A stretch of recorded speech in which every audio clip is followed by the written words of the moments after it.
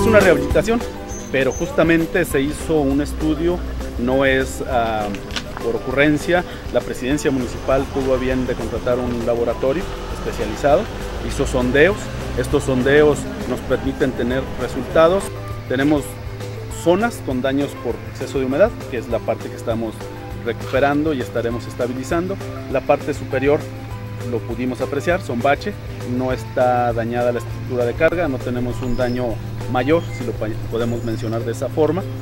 Con la sobrecarpeta será suficiente, más que suficiente. Es una obra convenida, es equipo de Sinfra. Me parece que la motoformadora pidieron un apoyo aquí con una empresa, pero es un monto mínimo. Todo lo demás estamos considerando es obra por administración. Equipo, personal Sinfra, personal también de obras públicas del municipio y recurso gobierno del estado y. Estamos hablando de la primera etapa de 9.600 metros cuadrados y en la segunda 10.000 metros cuadrados. Que sepa el municipio de Tlaltenango que con la gestión del presidente municipal habremos de llegar todas las secretarías en su conjunto con obras, con servicio, con atención para toda la ciudadanía.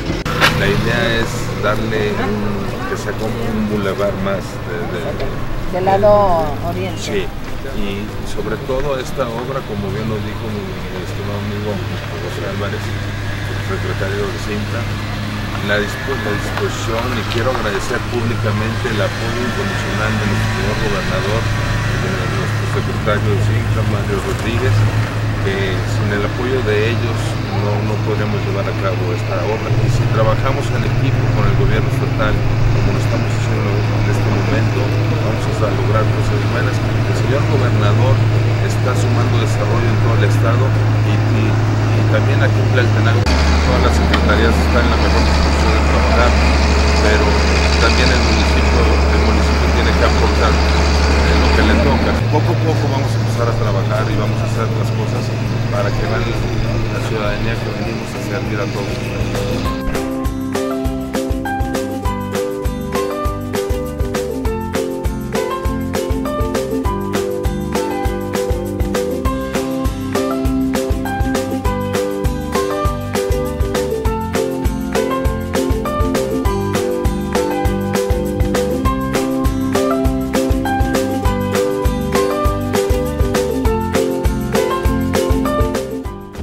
Gobierno Municipal 2013-2016 más cerca de ti.